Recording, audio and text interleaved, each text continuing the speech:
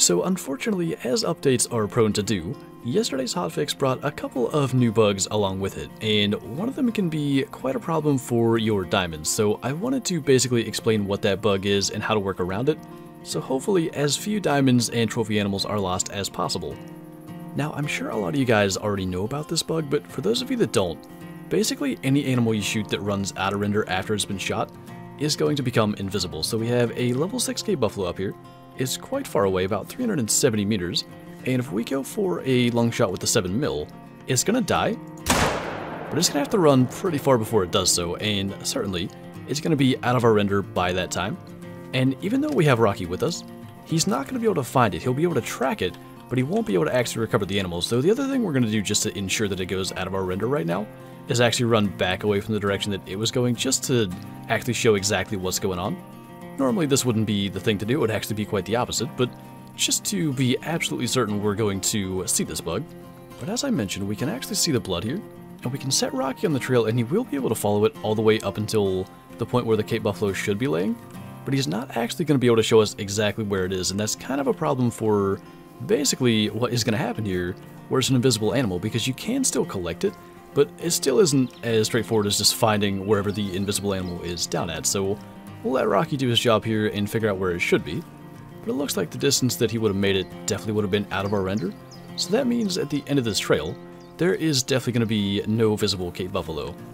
And what we should see as we're getting to 0 to 25 on the health is Rocky pretty much go to idle, and that's exactly what just happened. We have blood here, he should still be tracking, but then no Cape Buffalo, and unfortunately that blood is turning,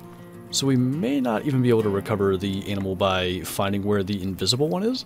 which of course is a big issue in any circumstance, but especially if you're trying to recover a diamond. So I'm going to run around here a little bit and see if I can actually figure out exactly where it's laying, just to show what happens then. If we can't find it here, there is another scenario where this can happen, and I want to show that as well, so if we don't get this one to come up, we'll do it on the next one. And running around for a couple of minutes here, I definitely cannot find where the animal should be down at, and that in and of itself really shows the issue here. The invisible animal sometimes is just not going to be recoverable at all because they may change direction at the very end. But it's not just animals that run out of render after you shoot them. If you shoot an animal and then leave render just to either go shoot another animal or track another animal first, that animal also is going to be invisible, so we'll go and just show that. Now this is going to be a little bit unnecessary, but we're going to take out this jackal with the 7 mil just to ensure that it's going to drop in his tracks. So we can see where it's going to end up. Do a little bit of sliding around there. And we'll mark exactly where it is, because this one I do want to show what happens when you attempt to claim it. So just to be absolutely certain, we went all the way back to 500 meters away, and we can see we marked the area. There is no jackal, but we should be able to go to that spot and still actually claim the animal. It's just not super straightforward even with that. And actually, in this case, because we dropped it, we have the blood here to help us as well, and it does say confirm trophy, We'll click that, you get that little flash of the harvest screen, you get the cash reward, and that's it. Now, you could go back to the Trophy Lodge and taxidermize these animals still using the last unsaved harvest feature, but if it's an animal with antlers or horns, it comes out looking like this blacktail with nothing on its head, so we still want to avoid that. And that's basically what I wanted to talk about now. I wanted to first detail the bug so you guys know exactly what's going on. So now we're going to talk about what to do to avoid it. Now obviously the biggest thing is don't let animals go out of your render once you've shot them. But basically, get as close as possible to take your shot. In this case with this feral goat, almost every diamond feral goat we've shot, we're shooting at like 300 meters or farther.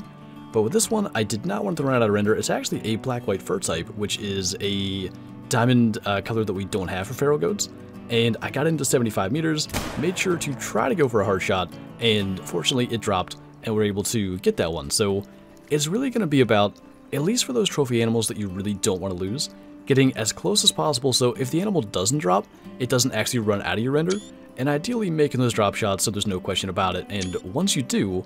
don't go anywhere else, go straight to the animal and claim it, and there is still one kind of circumstance where that can be a problem, and it's in going for long shots, even if you're confident you can drop the animal, there are places where you have to go around a large body of water and you may end up going out of render of the animal that way, so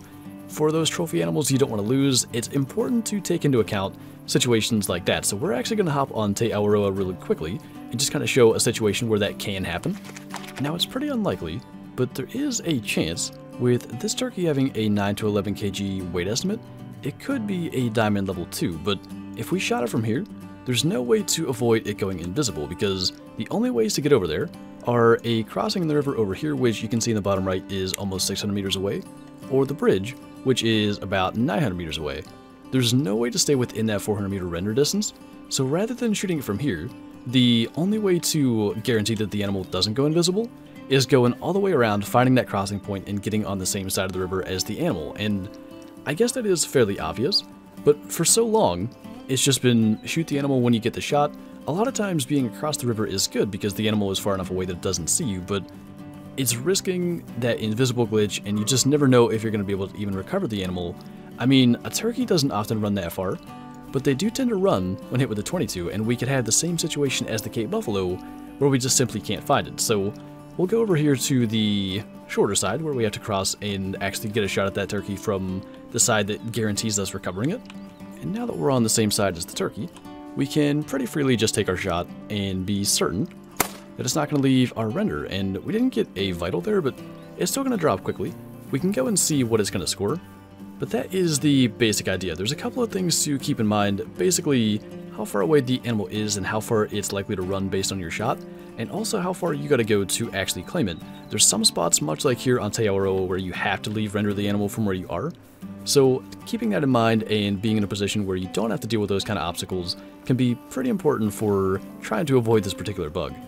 And just for the sake of seeing it, it is just a 4.4 goal scoring turkey, but nice to get another one for respawns because we still have yet to actually kill a diamond turkey off of Te Awaroa, and oddly enough, I really wasn't setting out to get anything that special when I went on Te Awaroa multiplayer, but that black-white feral goat is actually one that I really wanted, so we are going to go back to the trophy lodge real quick.